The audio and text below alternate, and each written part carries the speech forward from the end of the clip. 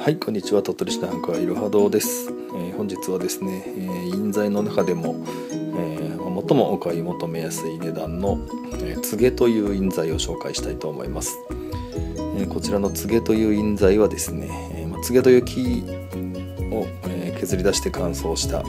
印材です、えー日本ではですね昔から櫛であったりえーまあ、根付けなんかの彫刻品ですねあとはまあ将棋の駒であったりそろばんの玉なんかにね、えー使用されてまして、まあ、本当に昔から日本人には馴染みがある印材ですね、えーまあ、日本に生えている木の中では、えー非常に目が細かくて硬い、まあ、あと油やね手肉に強く変形や割れが生じにくいということで古くから印材として使われてきた、え印材になります。えまあ、手に入りやすいのでね価格は安い部類になります、伝統的なものの中では一番安い部類になるんですが一つね欠点がありまして、えーちょっと乾燥などに弱いということですね。ですので、まあ、あまり長年は持ちません、えーまあ、あの大事に使っていただければね絶対に持たないというわけではないんですが、まあ、どうしても普通に使っているだけでも乾燥でひび割れたりということがあります。見ていただいて分かりますかね。この、え今右側にある印材。これまだあの彫刻してない印材なんですけどちょっとひびが入ってますね。これもあの長年、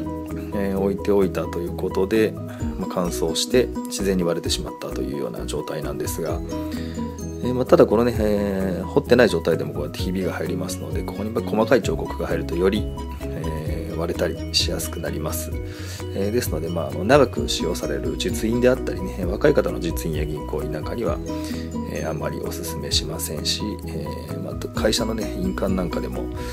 えまあ、とりあえず急ぎでとかね安いのがいいという方にはおすすめするんですが、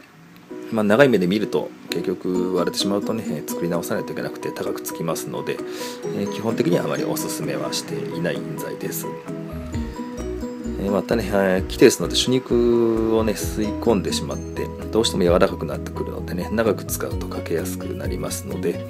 えーまあ、安くて、あのーおすすめなんですが値段としてはおすすめなんですが、えその辺のね踏まえてご検討いただければと思います、え本日は柘植印材ご紹介させていただきました。